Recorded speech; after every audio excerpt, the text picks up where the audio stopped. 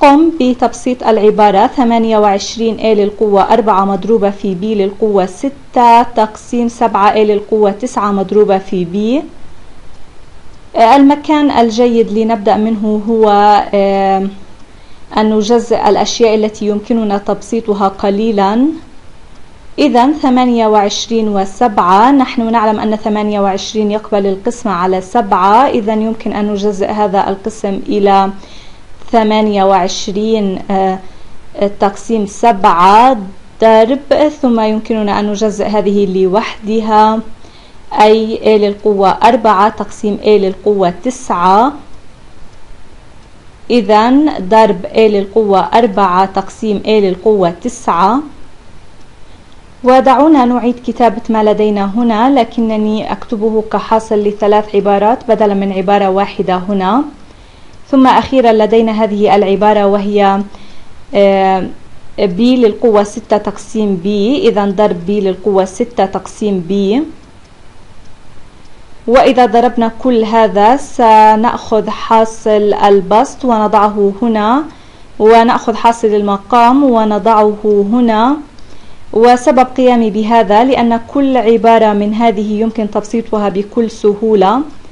هذه الثمانية وعشرين تقسيم سبعة بسيطة. ثمانية وعشرين تقسيم سبعة تساوي أربعة. أه، ثم لدينا A للقوة أربعة تقسيم A للقوة تسعة.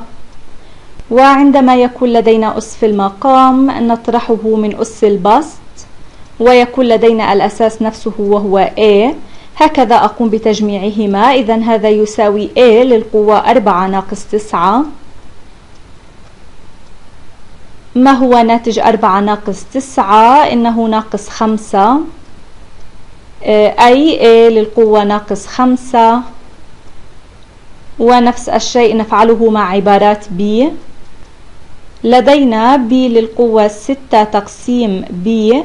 آه هذه تعادل b للقوة واحد. آه إذا b للقوة ستة تقسيم b للقوة واحد. آه ستة ناقص واحد تساوي b للقوة خمسة. وانتهينا. لقد قمنا بتبسيط العبارة. إذا لم ترغب بوجود أس سالب هنا فيمكننا أن نقول أن هذا يعادل أربعة ضرب واحد تقسيم A للقوة خمسة. هاتان متعادلتان آه، ضرب B للقوة خمسة. آه، بالطبع هذا يساوي أربعة مضروبة في B للقوة خمسة تقسيم A للقوة خمسة.